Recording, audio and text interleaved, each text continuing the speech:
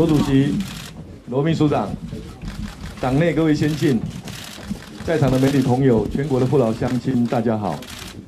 民进党在去年的九合一选举大败，执政的县市由十三个锐减为六个。为此，我也率领内阁总辞，负起政治责任，回到台南，深入基层。全心全力投入立法委员补选的工作。选举的结果虽然保住了基本盘，但是我深刻感受，民进党的处境仍然极其艰辛。加上日前中国国家主席习近平对外提出“习五点”，不仅积极推动并吞台湾的进程。也公开言明，九二共识就是一个中国原则，并没有国民党所称的一中各表，并且逼迫台湾接受投降式的一国两制。面对中国的步步紧逼，台湾的处境更加的险峻。然而，我们看到国民党的因应之道，却是竞相提出。要跟中国签订和平协议。希腊血西藏血淋淋的教训告诉我们，和平协议没有办法阻止中国的并吞。台湾是一个主权独立的国家，台湾要独立自主，台湾要继续过自由、民主、人权的生活，台湾不做。第二个香港，台湾也不做第二个西藏。因此，二零二零年的总统以及立法委员的选举至关重要，也攸关了台湾的未来。然而，放眼二零二零年，民进党的处境恐怕比二零零八年还要险峻呢。基层。非常焦虑，担心如果总统大选输掉了，立法委员的席次再大幅减少，那这样民进党失去的不仅仅是政权而已，台湾的主权跟民主一定会遭到空前的挑战跟危机。回想二零一六年，民进党情势一片大好。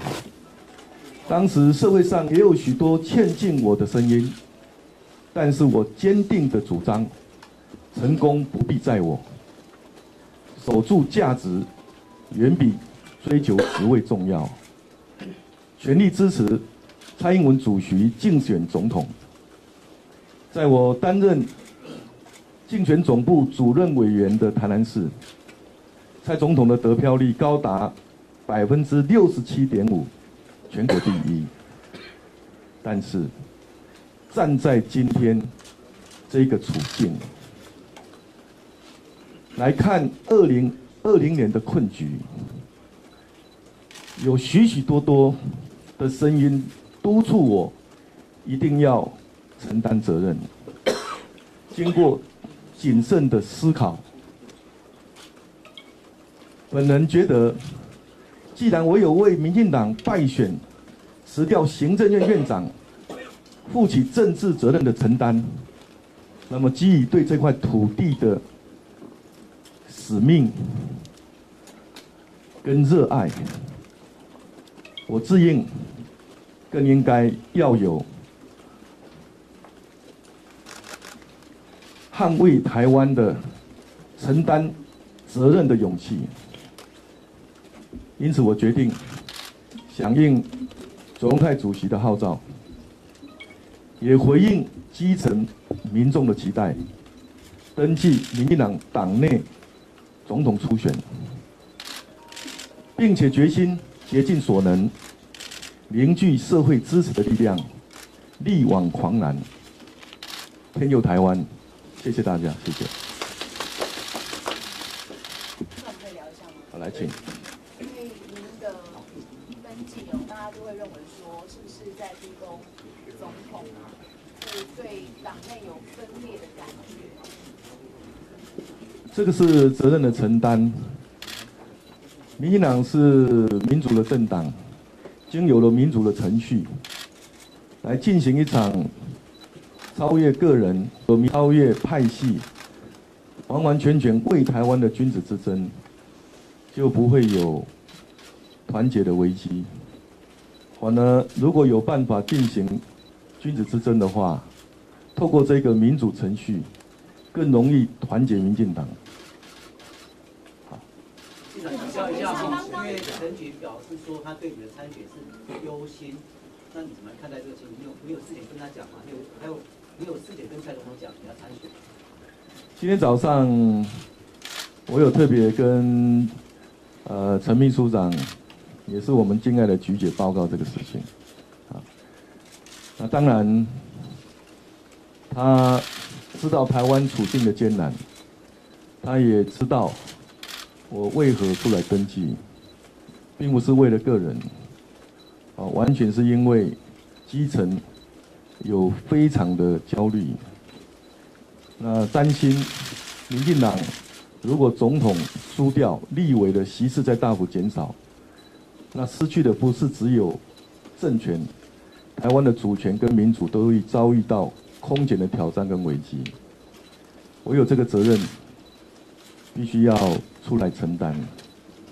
所以菊姐也希望这一场初选是一个是一场君子之争，让这个民主的程序让民进党更加团结，也借此机会能够凝凝聚支持者更多的力量。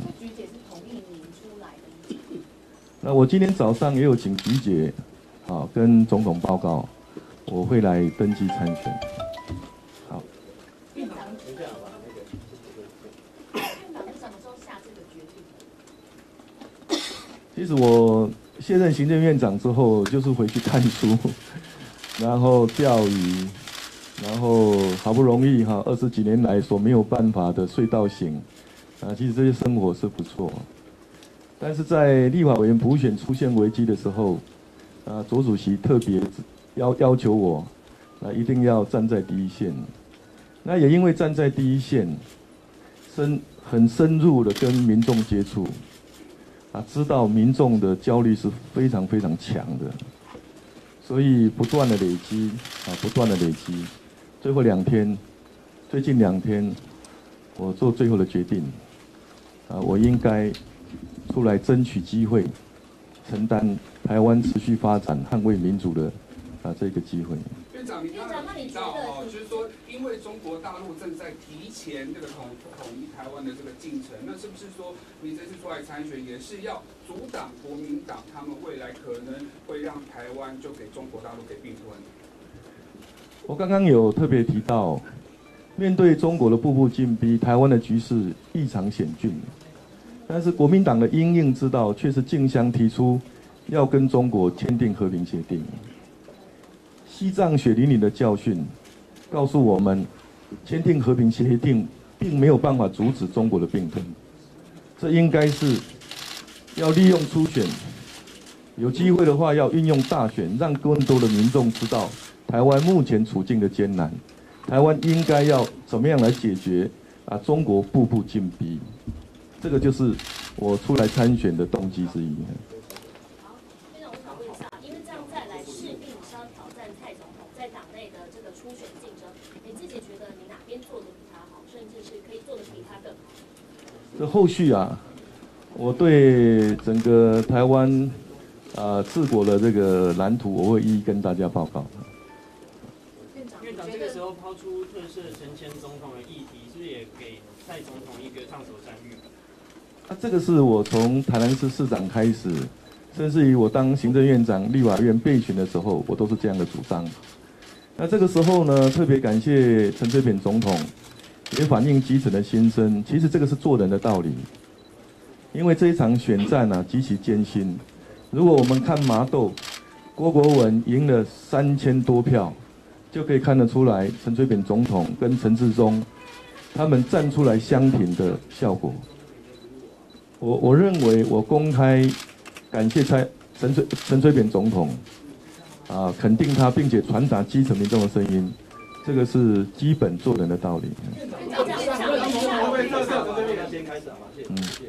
那民进党这次还是不好选哦，除了党内之外，您觉得你在党外国民党的最大敌手是韩国瑜吗？是是柯文哲？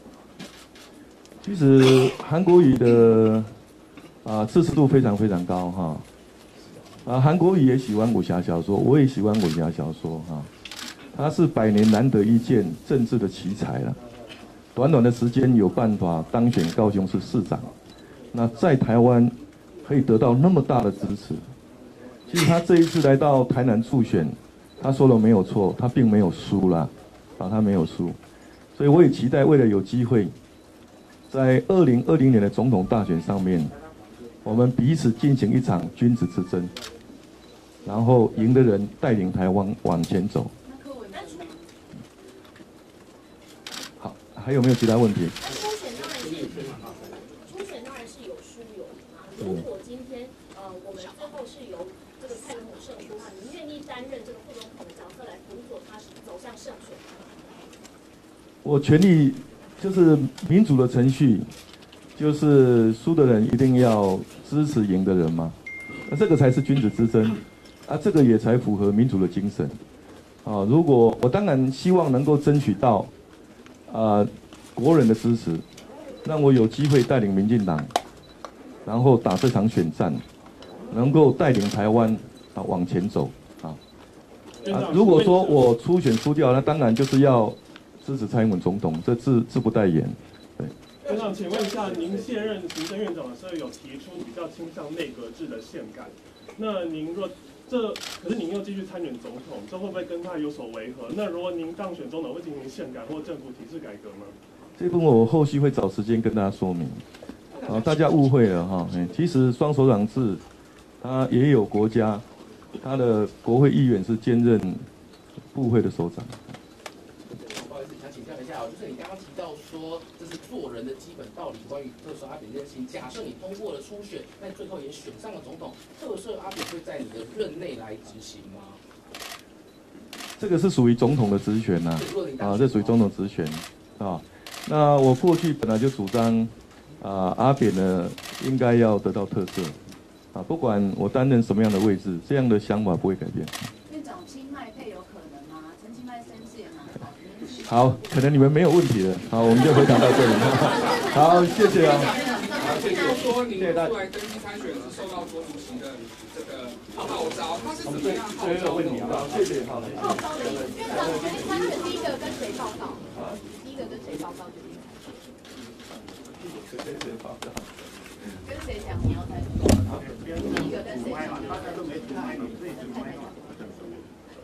第一定要争先争取他的同意啊。啊？